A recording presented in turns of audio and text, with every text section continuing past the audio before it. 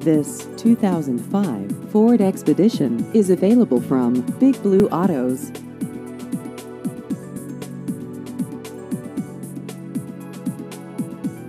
This vehicle has just over 105,000 miles.